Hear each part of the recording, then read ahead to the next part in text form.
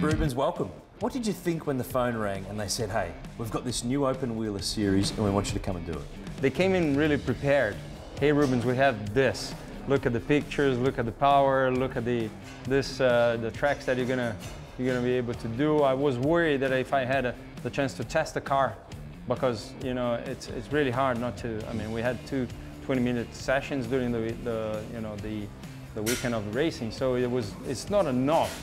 So I, I, I wanted to make sure that I had some testing. So after that, it took me two minutes to answer it. Yes. Are these like any other open wheeler that you've, you've ever raced before? Um, it's uh, it's it's really close to maybe um, you know what they call Formula Two now. Um, it's they used to call Formula 3000 when I when I race, and uh, it's a you know it's a bit more power than that, a bit less grip than that, but it's it, it's a I'm pretty sure what they want to achieve here is like mechanical grip to be able to follow the cars with no aerodynamic grip or, as such. I had a lot of fun uh, driving for the first time. We, we were hit, hitting like 290s in, in uh, Phillip Island and uh, 270s uh, in Sandown. So it's, uh, it's fast and uh, it's a bit more raw uh, kind of racing, but I like that. Is driving more fun now when you're not in Formula One with all of its pressure and the politics and the stress? Is this more pure motor racing to you than perhaps it has been in the past?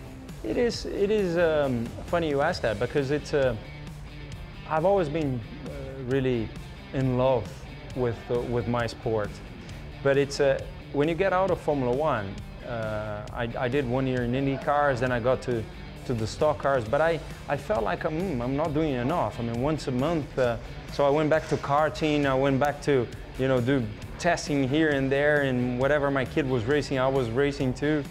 Um, so, you know, they say I'm a case to be analyzed because I, you know, I'm, you know, the more, the, the, the older I get, the more, more fun it gets. It's definitely the, the less pressure brings you the feeling of more enjoyment.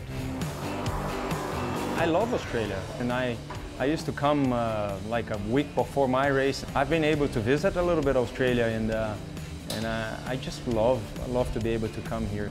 Big thrill to have you here. Enjoy your weekend. It's great to have you as part of S5000 this week. My pleasure. Thank you very much.